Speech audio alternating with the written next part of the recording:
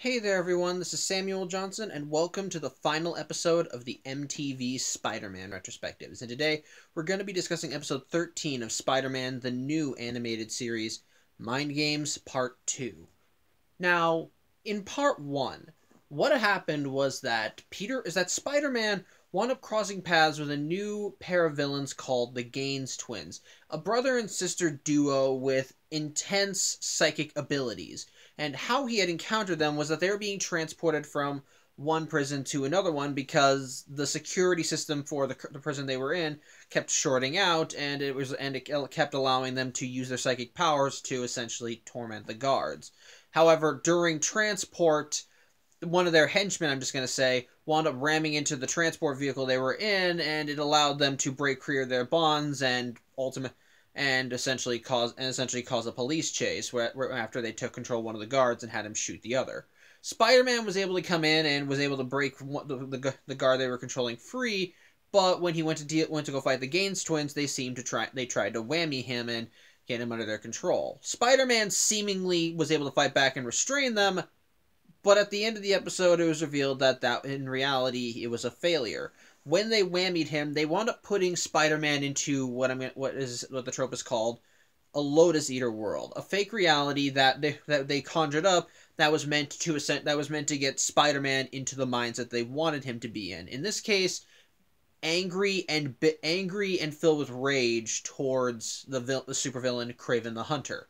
It turns out uh, who it turns out they have their own personal vendetta against. You see, they they how the Gaines twins have their powers is because their their parents were experimented on by the KGB, and as a result, because of those experiments, when their mother gave birth to well them, it results in their psychic powers, and the KGB to try and cover their asses wound up hiring Kraven the Hunter to kill them and keep them from talking, and as a result, the Gaines twins hate Kraven. And Uh-huh. as such, since Spider-Man has a history with Kraven, which again I pointed out in the last episode kind of feels weird, especially since this follows the continuity from the first Spider-Man movie, they thought that he would be they thought he would be the perfect candidate to fight to fight him, and sure enough, in the Lotus Eater world, they're able to get Spidey to that mindset by making him believe that Kraven killed MJ, which well, it does the job. Peter is filled with just filled with endless rage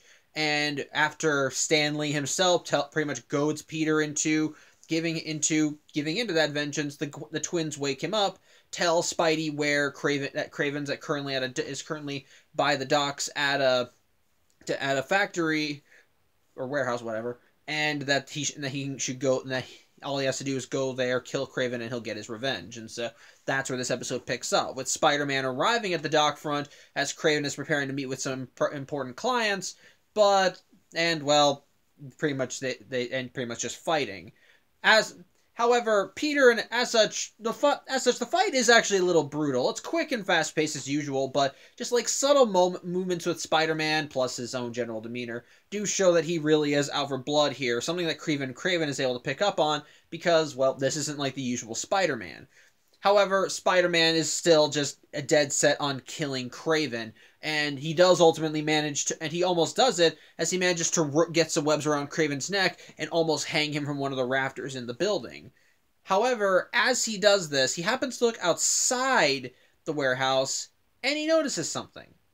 For those of you who didn't watch the last vlog or didn't wa- or haven't watched these episodes, something that occurred in the Lotus Eater world was that the Gaines twins wound up release and wound up setting some of Spider-Man's old some of Spidey's foes against him. One of them being Pterodax. In the and in the fake world, they wound up taking control of the ESU building that the the ESU Science Center building that was being built. And in the battle, and when Spidey went to go fight them in the battle, a, the sign for ESU got knocked off and fell to the street below. No one was killed, but Harry but Harry was there on the ground on the ground floor, so to speak, and wound up suffering a broken arm. However, when Spidey looks out the window, the sign is there, and the building seems far beyond complete. There's no signs of any scuffle. It looks fine, and this starts causing Spidey to question things a little, especially since during the battle with Kraven, Kraven mentioned how it's been ages since he since he and Spider-Man actually fought. As such, as Spidey begins piecing put, putting the pieces together, he drops Kraven before he can choke or break his neck, and Spidey begins interrogating him about when they actually fought about when they actually fought last. And Kraven does confirm, yeah, it was long ago, which again still feels weird in continuity. And Spidey begins realizing, yeah, he was had. Especially when later, when the police arrive and he hands Kraven over to them, he asks the lead, he has he asks the officer in charge what's going about about his encounters with previous villains, like with Pterodax, Silver Silver Sable, and so forth. And yeah, he confirms that the last time Spidey saw them was the last time we saw them. So yeah, and so Spidey's beginning to realize that things that yeah, the twins got him, and which is which is doubly confirmed when he gets back to his apartment that night. Sees Harry trying to woo uh, one of the one of the one-off girls from a previous episode named Francesca, and sure, yep, his both of his arms are fine. As such, Peter realizes that he realizes that something is clearly up, and especially when he asks Harry, "Have you seen MJ?" and Harry mentions that he hasn't, and the only that and while he, they were up to see, while they were going to go see a movie later, she left a note saying that she was with Peter. So Peter's realizing, yeah, MJ's probably in danger. As such, using the bits of scraps of memory he can recall from his time in the real world, he's he manages to go to he goes to Indy the next day and tries giving her detail and gives and tells her about how he's looking for the little twins' warehouse because he does because he does like I said those are the, the details he can recall. And well and eventually they're able to narrow it down to a warehouse by the docks to the to the docks as Peter's able to get some more identifying information as it's across the street from a church. But at but Indy, of course, thinks that something is up. Because Peter's cover story was that he wanted to take a picture of a building, but he was daydreaming and can't find it anymore. But why is he going to all this effort to find it? So Peter ends up admitting that he thinks MJ is in danger and that he doesn't want to talk about it. He just bolts. Indy decides to take this as a personal challenge, as she thinks that wherever Peter's going, there must be a story. So she wants to go there and act and actually well be and actually get the scoop before he does as such, it essentially becomes a race. And sure enough, as Spidey and Indy are going to the warehouse, the twins watch the news, and yeah, they are not happy that Kraven's just been arrested. However, they still have their ace in the hole. You see, like we mentioned last week, like no, not last week, but the last vlog, the last video, the twins extra insurance kidnapped MJ because, well, they there was that off chance that Peter could break free of their mental control. And while MJ may not be, and while MJ isn't exactly tied up, they are essentially keeping her in place with their mental powers, causing her that every time she seems to be going free, they trap her in a little dream prison where she's where she's trying to escape from the lizard. As such, they decide that they can still get their revenge on Kraven. All they need to do is give Spider-Man the right incentive, and so they end up calling him because with their time in his head, they know who he is, and so they are, and so they pretty much just tell him, "Kill Kraven or we're killing MJ." Of course, Spite, and so of course Spidey is just doing his best to keep them on the phone and keep them from actually doing anything to her. But thankfully, he is successful, and which actually leads to one of my favorite scenes in this whole episode, as he's just talking his as he's just talking the girl of the twins. Her, he's just talking the girl's twins ear off, and as the as he keeps talking and talking, she's speaking. She gets ready to hang up. Says, "Okay." It's like he better be dead by the next time I call. It's like, okay, fine, but one more thing. And the twins just look horrified as they look at each other and just say, he's here. Look over, and Spike just swings in. I, I, I don't know. I just find that hilarious. Just the sheer oh shit on, expressions on their faces, which I love. I thought was great. Uh, however, they manage to hit, hit Spider-Man with mental waves and make a, and make an escape. And Spider-Man, while Spider-Man is able to take care of the henchman that was chasing a uh, lone henchman, he still has to go after them, and they both might want to making a run for the roof. As such, as such, Peter gets gets MJ free, and they run out. Now, in the meantime, Indy arrives and tells the guy and tells the guy tells her driver that she's not on five minutes, that he can just leave her.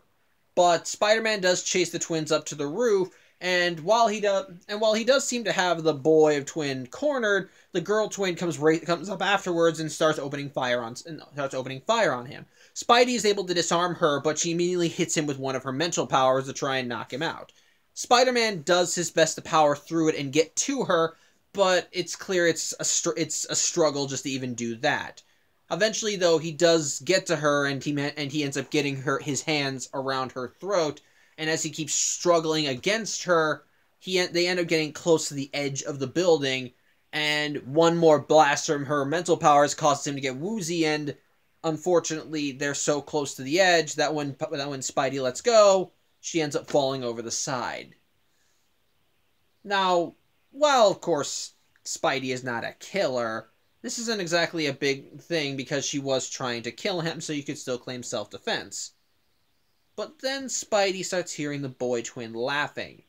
He then turns around, and as he's laughing, his sister walks out from behind him, also laughing.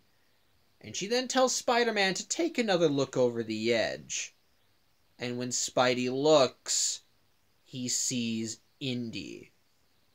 It turns out that when the girl twin supposedly burst onto the onto the roof and opened fire on him, the twins hit Spidey again with another whammy, making him believe that Indy was one of the was it was one of the Gaines twins, and was tr- and well, because of their and well, Spidey has now pushed her off of a building.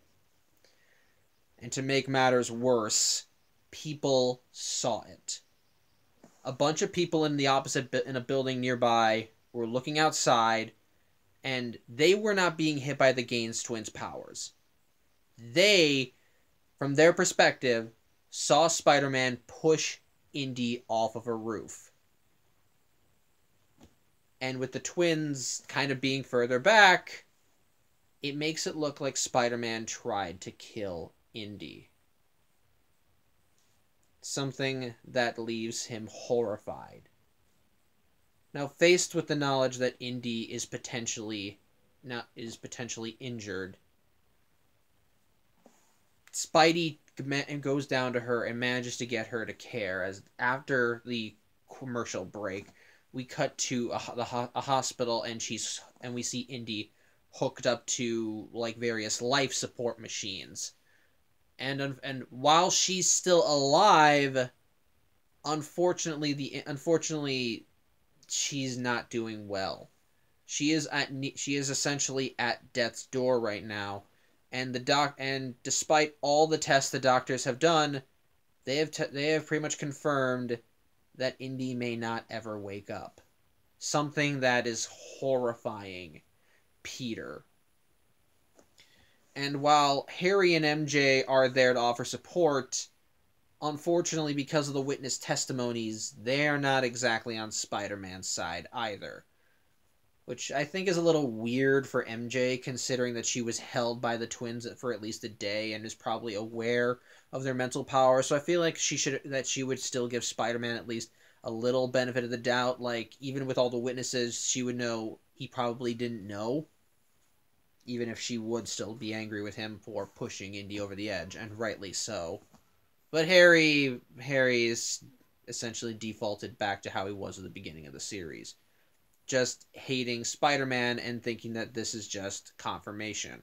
Not helped by the fact that, after he says this, that they, the, eh, the Empire One news station, the, the Empire One news that comes on the TV in the in Indy's hospital room, and J and J Jonah Jameson is on there and is essentially calling Spider-Man out, telling him a bunch of witnesses saw it. We and this and I've been telling you people for years that he's a menace, and this just confirms it. He's a monster. He's a he's a mur he's a, he's an attempted murderer. He either needs to hang his webs up or get the hell out of town. And as we learn later, a good chunk of New York is now behind him on this which unfortunately is not helping Peter's mental state. While Harry and MJ go off, we see go eventually do leave. Peter, you can Peter is, is unfortunately still not in a good mindset. However, while he does blame himself for what's going what's happening to Indy, he knows that the Gaines twins are still out there, and he can't just leave leave them to do what they will. As such, after taking some of the sedatives from the hospital, he ends up tracking down the Stan Lee cameo. They do give it, they do reveal the mm-hmm. character's name at one point in the episode, but it's mentioned like only once, so I'm just gonna still call him Stan Lee. And it turns out his character actually owns a majority of warehouses throughout New York, which is how people, eh, and and so, and it, yeah, that's why the twins were using him for not just the illusion, but for the, where for just for also their base. As such, Spider Man managed to track him down, and he essentially threatens him into telling him where the twins are, and he does end he does eventually give it. But and so, and it turns out that this was actually that the twins with this whole thing with Indy, it was Plan B. My guess is that they were originally going to do it with MJ, but and Indy was just a happy accident, but it's the exact same result. It turns out that with Spider-Man discredited, they think that they can now just go into the criminal underworld of New York and just take over, which I guess is meant to be just like a consolation prize since they obviously wanted Spider-Man to kill Kraven, but they essentially just say take the victories where you will. Unfortunately, as they're celebrating this victory, Spider-Man shows up and takes them out one by one by one. First, he ends up webbing the sister's sister's boot to the ground, and so and the brother unfortunately is not paying attention to this because they just happen to be walking, and then her foot gets stuck, and they're closing like doors to this warehouse they're in, and before she can warn her brother that Spider-Man is there, he ends up closing the door in her face, and Spider-Man comes in and well, unfortunately, away from his sister, the the guy twins' mental faculty, mental powers aren't as great. And so while he does manage to throw Spider-Man around a little bit, at the end of the day, Spider-Man is able to hit him with a good chunk with a good dose of the sedative and knock him out. Unfortunately for Spidey, though, the other twin got free of her webbing and comes barreling into the warehouse in a propane truck. While Spider-Man does try fighting, is does his best to try and break to get the, to get the control of the truck away from her. Her mental powers are still her turns out her mental powers are actually far greater than her brother's, and she begins screwing with his mind, making him see Indy, begging him not to hurt her. Unfortunately for the the girl twin, she should have been paying attention to her. She should have been paying attention to her surroundings because as Spider-Man is holding on for dear life on the hood, he happens to look behind him. He look happens to look behind. He happens to look behind him because he's looking into the windshield and sees that they're driving right into electrical into an electric box. With this knowledge in mind, Peter just calmly slips off of the truck, and as the girl twin sees what she's driving into, she tries to hit the brakes, but it unfortunately just causes her to skid into the box, and upon the spark getting hit, upon igniting the spark in the propane truck, it causes the whole building to explode. While Spider Man does manage to make it out of the blast, his suit's clearly in tatters, but But as for the twins, well, I doubt that they'll be walking away anytime soon, if they're alive. And so, with that in mind, Spidey just swings away, leaving the leaving what's left of the twins in the rubble of this destroyed building. In the meantime, though, we then cut to the next morning as we see Peter in his room as with with a suitcase containing his Spider-Man outfit before before he seems before he can do anything with it, MJ ends up coming in after Peter hides the suit, of course, and she's clear and uh, Peter is still distraught, not doing well, and MJ is trying her best to comfort him, be there for him, show him that she cares and still loves him and wants to be there for him in this trying time. But unfortunately, with the the because of Peter's guilt in self loathing and anger, he's just not in the right mindset. And so while MJ is doing her best to be near him, he tells her, I can't do this. And MJ, clearly hurt, says, I'm sorry for bothering you, before giving him a quick peck on the cheek and leaving. As such, Peter takes out the, the suitcase carrying his suit and then fills it with bricks. And then, well, the end of the episode involves Peter just walking through the streets of New York with as he begins monologuing about how unfor- how the life of a superhero just cost is just it just costs you more than you would like, especially when people that you love end up getting hurt. You push some people away and end up unintentionally hurting them. Some of the some may some people may just end up hating you, or in the case of Indy, people that they love will just lose everything. And so Peter decides if being a hero is going to keep hurting those I love, it's just going to keep taking things away, then I don't want it anymore. And so, with the one final thought, Peter takes the suitcase and chucks it into the Hudson River. thinking to himself, Goodbye, Spider Man. And the episode ends with Peter looking at his reflection, briefly seeing the image of himself in the suit, before walking away. Now, I've talked about this finale before. Not in this vlog series, but in a previous vlog, the Phantom Perspectives.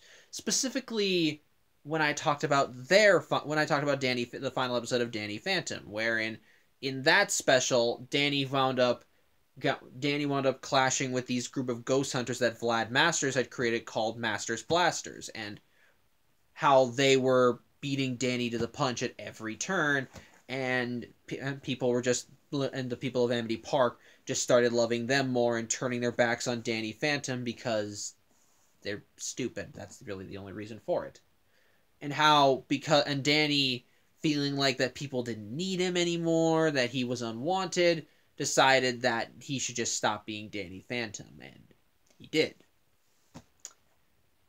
I thought that ending was stupid, and I compared it to the ending of this show, wherein a similar circumstance happens with Peter, that there's a mis um, not the okay, not the same circumstance, but a similar situation. Say for certain key details, how the people of New York now loathe Spider-Man. Everybody has a negative opinion of him, and Peter eventually gives up the gives up the identity. Why I think it works here as opposed to in the finale of Danny Phantom is because Danny's choice in that episode was based on purely selfish reasons that which not only didn't make sense for the character but also was just didn't make sense overall because previously we've seen that Danny doesn't really care about public opinion when it comes to his superhero career.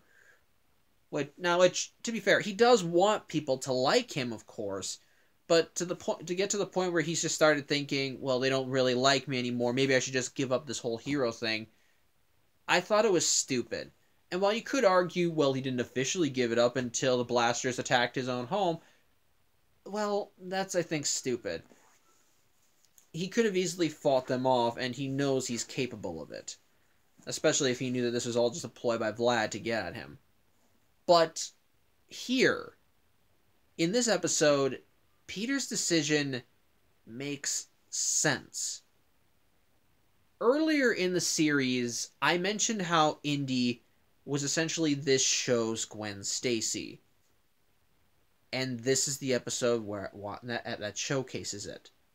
Because like Gwen Stacy, Indira Daimonji was meant to be someone close to Peter someone that he grew that he grew close that someone that he became emotionally attached to began to have feelings for began to actually have something very intimate with and from her introduction episode we've seen that relationship develop between her and Peter seeing them click on various occasions seeing her helping him out getting closer to him not just as Peter Parker but as Spider-Man even if even if she didn't know it and so seeing that happen and seeing that relationship continue to develop, it makes this finale hurt.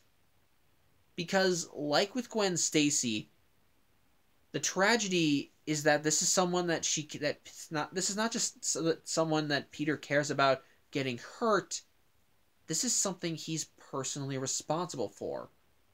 Like with the tragedy of Gwen Stacy, ultimately it's a villain that set it all in motion but like with the de- like with her de- like with Gwen Stacy's death, the action was still Spider-Man's. In the comics, he wound up accidentally killing Gwen Stacy by her getting thrown off a bridge, him shooting a web at her, and the kickback snapped her neck.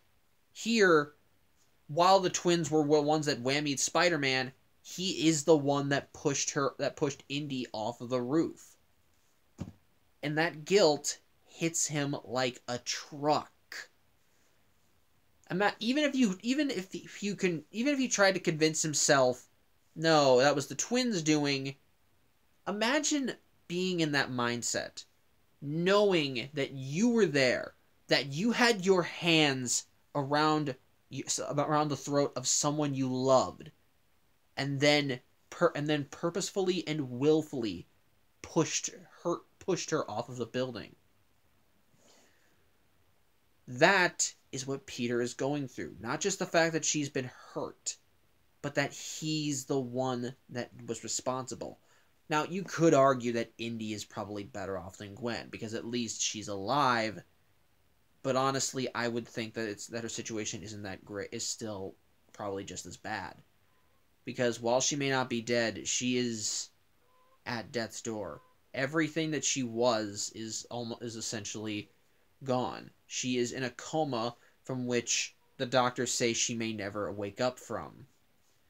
And Peter again has to learn has to live with the guilt and despair that do making that decision comes that comes from making that decision.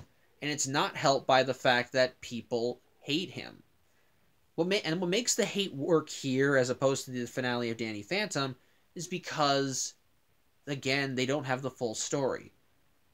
But and what makes it but and of course, again, Peter beating himself up.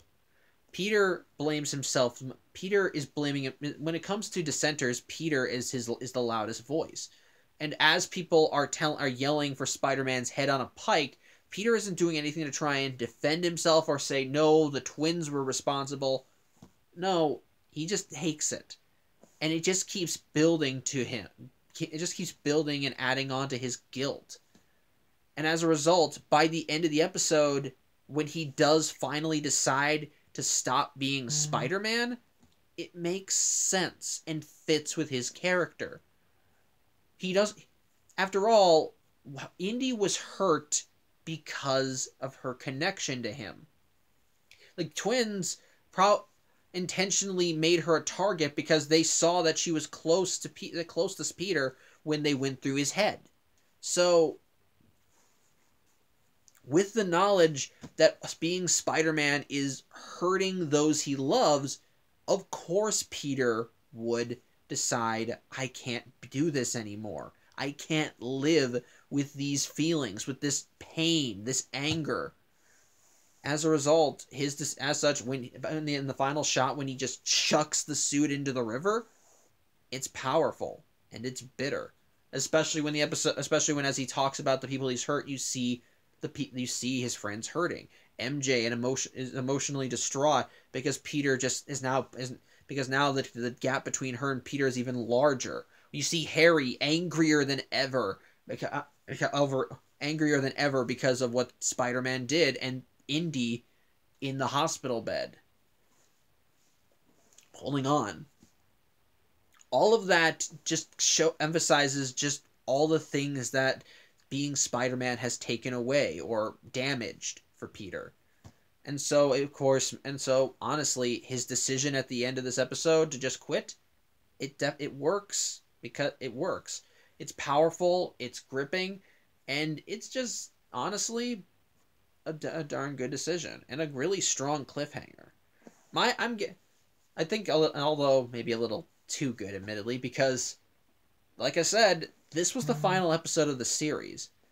Now they clearly left enough doors open with this finale that they could mm-hmm. come back, and I'm assuming that if they did come back, we would have seen Peter reclaim the Spider-Man mantle, even if it would be, even if it was reluctantly. Like maybe a new threat is coming that nobody can deal with, and Peter, because of his overwhelming sense of responsibility, makes a new Spider-Man costume and goes to face it, even though everyone in New York still hates him and he's wanted for attempted murder. So I think that if the series had continued, that's where we would have gone. But as the finale, it really hits hard it really leaves a bitter taste in your mouth. Not the bad kind of bitter, although you could argue that there's no other there's no such thing as a good bitter, but the kind of bitter that definitely makes that definitely kind of hits you emotionally. Because again, you see the pain that Peter is in. You see the consequences of his actions, of what's hap of the of you see the you see this the the remains of his life just kind of fall apart little by little and of course, with all that in mind, it definitely makes the decision that much stronger. And as for the rest of the episode, I think what makes it what helps too is that the is well the villains. The Gaines twins are honestly really creepy villains. Whenever we see them, they whenever we see them, they always look they always look like sickly or pale with like sunken in eyes and their voices are always low. They have a certain way of talking to them. Like it's low or monotone or just kind of or just kind of eerie and wispy. It's like there is just something off about these people from the instant you see them, and that is continuously showcased throughout the episode throughout both episodes just kind of seeing them be talking quietly or creepily or getting or, ang- or getting angry or seeing the angry glares there was like one like go even like one scene that that really kind of creeped me out was when the twins were gloating to Spider-Man that he pushed Indy. Like as you see the the girl twin tell Spider-Man to look over the side of the building, you can see them the you can see her brother just standing next to her and he just got this really fucking creepy smile on his face as he just looks gleeful that Spider-Man is just gonna that this is gonna hurt Spider-Man that badly. And honestly, it really friggin' works. And throughout the episode, you just have this sense of something's off about them. And it continues to showcase that, especially with when you see them using their mental powers. Like you can hear their voices echoing all across the ep- throughout from everywhere. Just like they're just like a haunting, like mm-hmm. they're just like haunted, vo- haunting voices in your head, which is apropos considering their powers. And pretty much just every scene with them just gives you the shivers because you just know these are these people are off. Well, at the same time, they do showcase that they are clearly brother and sister. As we see them bicker, we see them get along, we see them mm-hmm. argue. It's really interesting. It's really interesting stuff. And while they aren't the most, and while they're not the most fleshed out, as they're kind of one note, they just want revenge. At the same time, I think they have enough there that that makes up for it to still make them intimidating and creepy. Hold on one second. Sorry about that, dog. Now, as I was saying, again, the Gaines twins are creepy. I think when a and I think again, I think another thing that works about it, I think, is essentially just the fan service throughout both parts of the special. The whole episode, the whole finale, does feel like a culmination of the whole of the series up to this point. Not entirely, but enough so that you can feel things converging in a sense. We got that in the first part when we saw the previous villains make a comeback, even if they weren't the real ones. It was still kind of cool seeing these references and other villains from previous from previous episodes come back, like seeing Spider-Man duke out with Pterodax or Silver Sable, or again, or in the case of Kraven the Hunter, just seeing him even making a debut in the episode. Though again, I still would argue that that doesn't really make a lot of sense. Or even seeing Peter trying to take steps to improve things with his spider sona as we see him as we see him confess to MJ in the fake world and then in the real world learn that yeah that that, that was actually what would happen. Of course, and of course, also having the Stan Lee cameo be what happened last week, last time, and then of course, the then there's the stuff with MJ going up again, having the hallucination attack from the lizard, or in this case, the reactions from what happened when to Indy being pushed off the building by Spider-Man. I feel like that what makes this work too. Well, I do have my problems with it in a little bit, a, a little bit in the case such as in the case of MJ, who like I said, I feel like should be more willing to give Spider-Man the benefit of the doubt since she essentially kept since she was the since she had been captured by the Gaines twins and thus is aware of their mental powers. Harry, in the meantime, I think that one I feel is the one that is the most pivotal. After all, prior to this two-parter, we had seen Harry clearly start starting to question his hatred of Spider-Man and the death of his and Spider-Man's hand in the death of his father. Because after all, if you saw the first Spider-Man movie, then you know his father was the Green Goblin. So and di- and died while they and died in battle. And so Harry, not knowing that, thinks that Peter just that Spider-Man just straight up killed his dad. Though why that's not public knowledge, I have absolutely no idea. But now, but by the end of the la- of but by the end of the episode before this two-parter, you saw that Harry was questioning how th- where things were going with, with his with Spider-Man, his own feelings towards him and whether his hatred was actually warranted. But here you see that all come crashing down and Harry's reaction I think makes the most sense. After all, every interaction with Spider-Man he had before this, he w- had just chipped away at the facade that Harry had built up in his mind. Just little by little you saw that until eventually Harry began questioning whether it was that the hatred was warranted and if Spider-Man was actually a good person or if his dad or if his dad was doing something behind behind closed doors.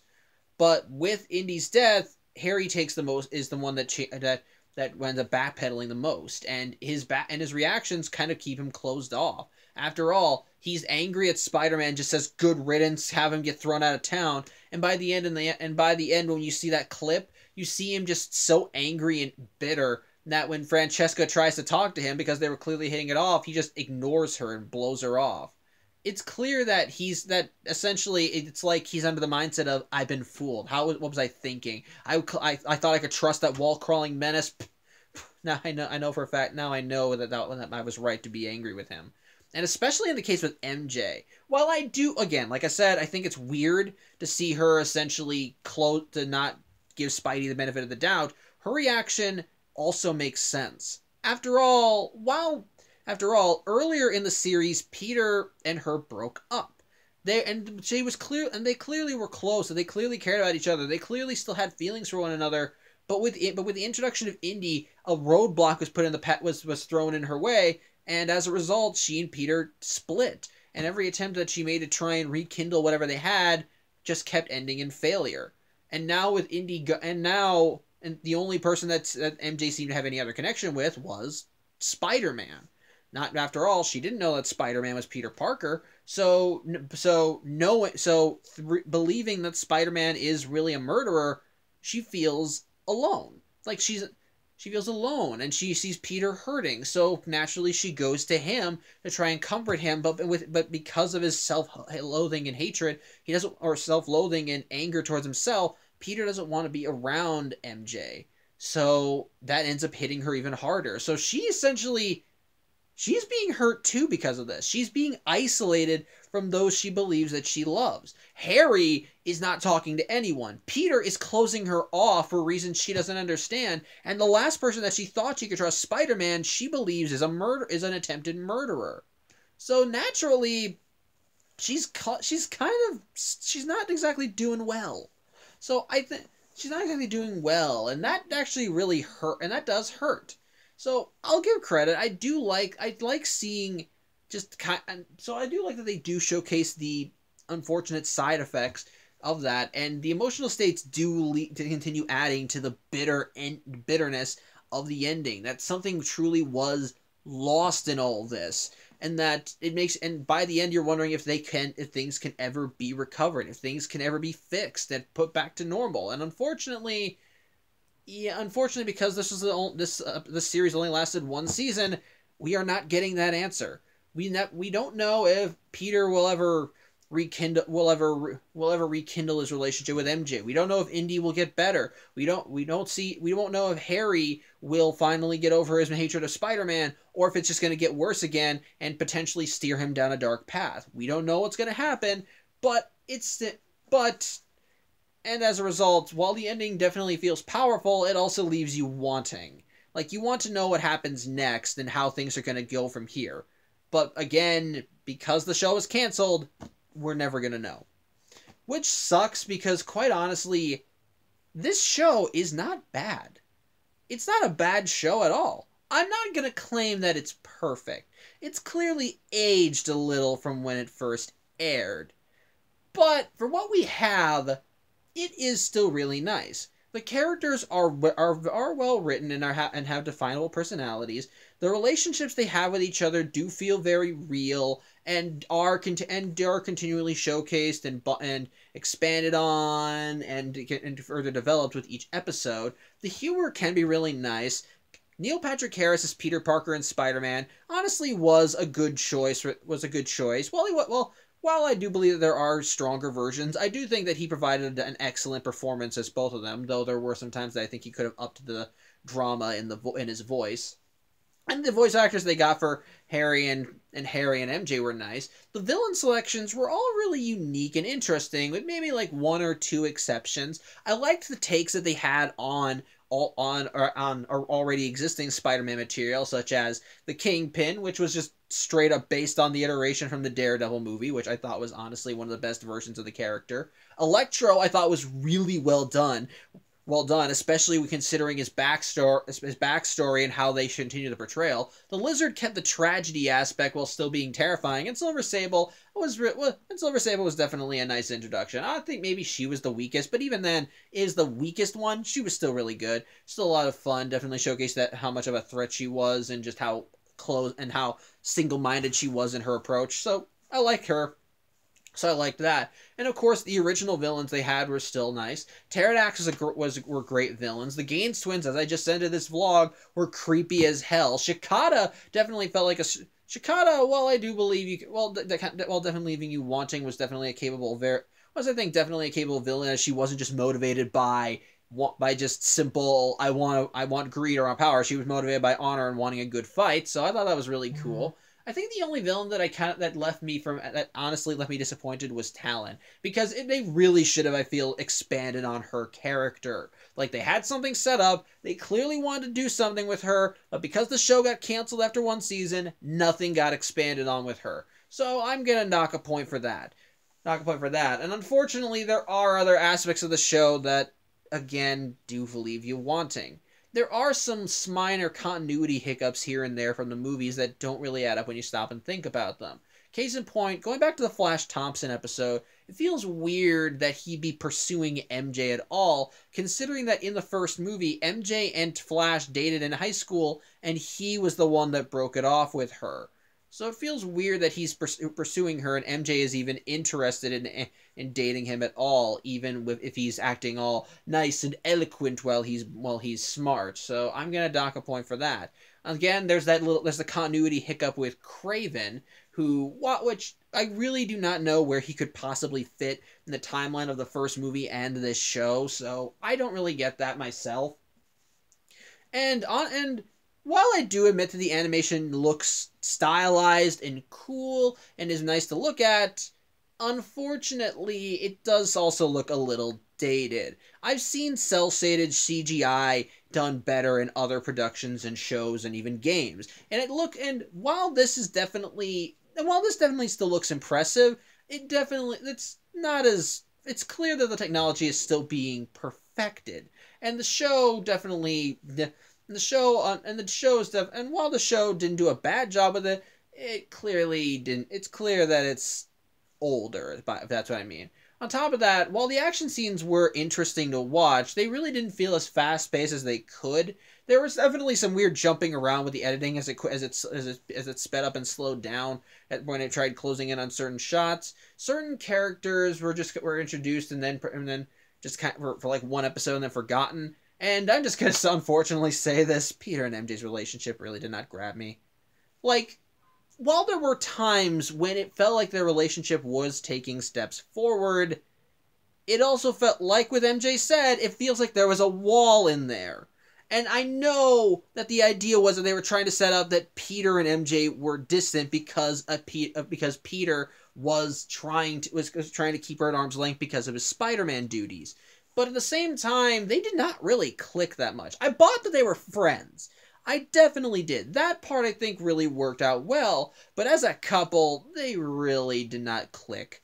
They had their cute moments, and there were times when I think it worked, but as a couple, I didn't feel like they fully clicked, which I found to be a little disappointing. And I think that's another thing that made the what happened to Indy in the final episode work so well, because they showed that Peter and her, they were a match made in heaven.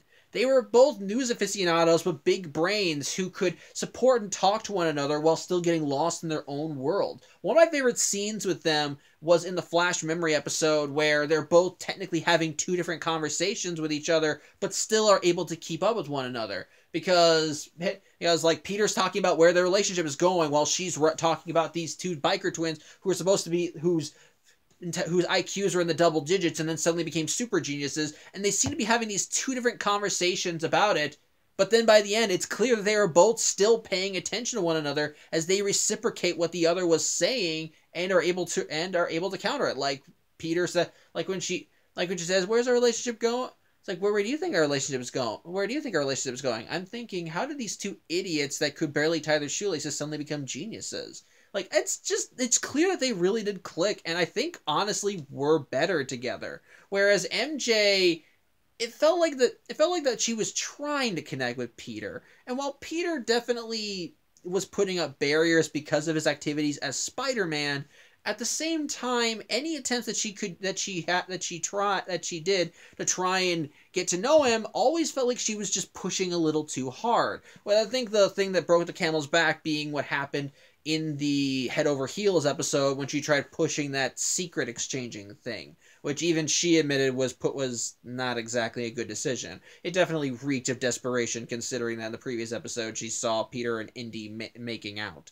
So again, I think that is a flaw with the episode. Peter and MJ's relationship really did not work as well as the writers would have hoped. There's also, I think, in one, one minor example, how some villains don't get as mo- get don't get as developed. While the while the lizard definitely was a strong villain for the episode he was introduced, unfortunately, because the show kept trying to stick to the "some villains must die" quota, he he only lasts one episode. While Electro definitely gets better treatment with him, as they at least had one episode with him prior to his transformation, even he falls into that same hole as well. As we have one episode with him as Max Dillon, one episode that shows him turning into Electro, but only doing Electro stuff in the last third, and then the and then the next episode we see him, he gets again killed off. So it really feels so. And while I liked what they did with Electro in the series, it also feels kind of disappointing because quite a lot of villains they either they they because there are because there are at least a good, a good chunk of villains here that they end up killing off or having a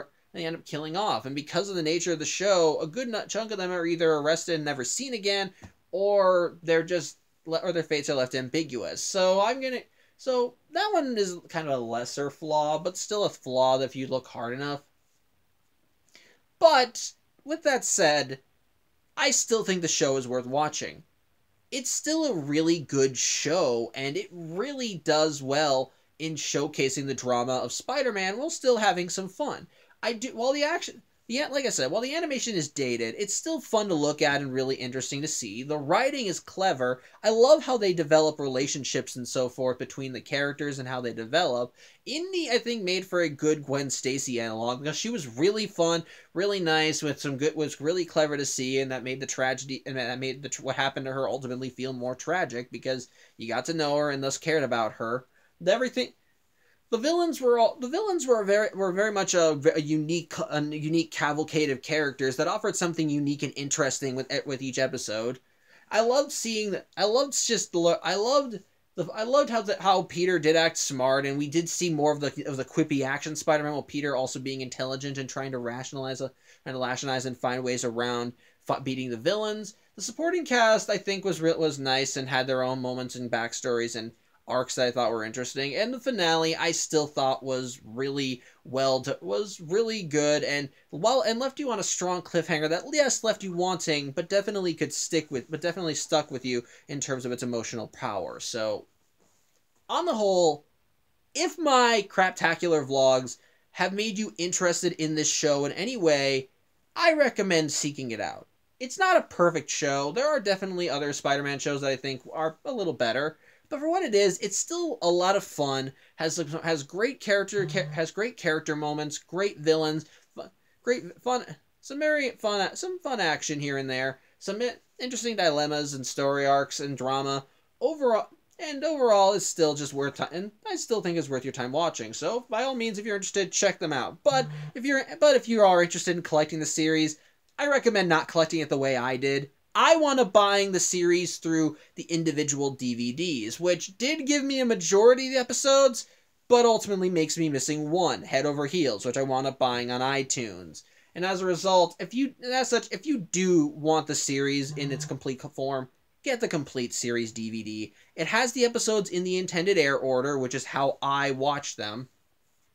And it has and no up nothing is and nothing is missing. So by all means, if you're interested, find the series, check it out in any of its forms, show that people that, that, that show that it is still loved and that people still want to see more of it. And while I doubt that it'll get renewed, at the very least, I would love to see Marvel get draw put more attention on the show because it really is.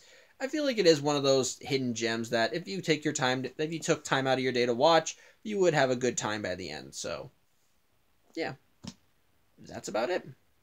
I really don't have much to say, but for anyone who actually wa- that's watched these videos watched these, all these videos from beginning to end and was potentially interested in seeing where the show went, I thank you for your time. I'm glad I was able to keep you momentarily distracted with these craptacular, unrehearsed vlogs. And while there were times that I definitely feel like could have been better, it was still fun to go back and watch this show. And I'm for anybody that actually want that stuck around with me, I thank you for for coming with me on this journey. It was fun to do, and I hope you and I hope that you enjoyed the ride.